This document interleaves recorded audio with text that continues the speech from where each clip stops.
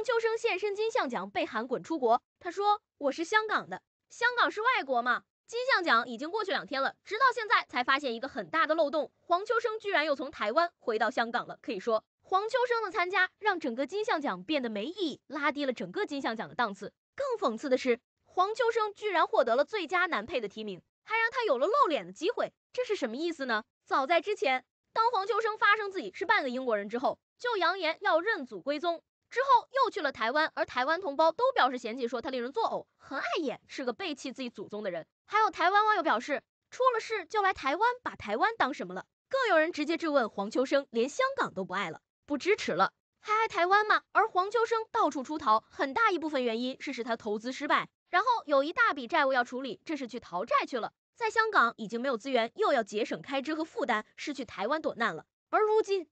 他又凭借金像奖的最佳男配回到香港，很多人都说是不是他在台湾又混不下去了，所以才回到香港呢？很多人不管那么多，对于港独黄秋生，大家没有一丝的同情，都在纷纷喊话黄秋生滚出国吧。没想到黄秋生面对网友的喊话，他非但不羞愧，还大言不惭的怒怼网友：“你吃饱饭了吗？不让回国，我是香港的，你是港独呀？你当香港是外国吗？”这句话的意思很明显了，黄秋生如今连饭都吃不饱了，解决不了温饱问题，回到香港故意钻牛角尖。网友的意思，香港就是中国的，于是让黄秋生滚出国。黄秋生非但没有羞耻心，反而说自己是香港的，香港不是外国，还倒打一耙说网友是港独。评论区绝了，大家都在说香港是中国的，回国是针对中国人，你一个英国人，你回什么国？就应该滚出去啊！其实黄秋生做过的那些事，随便说几件事。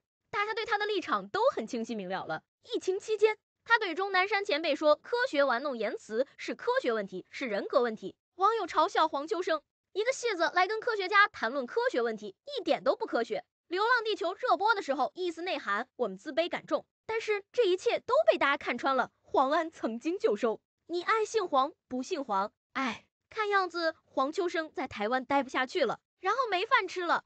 又想回到香港了，不过大家都看穿了他的心思，估计不被骂都难了。曾经对金像奖没有疑问，如今黄秋生都被提名最佳男配之一了，感觉让人看不下去了。你们如何看待黄秋生怒怼网友的提问？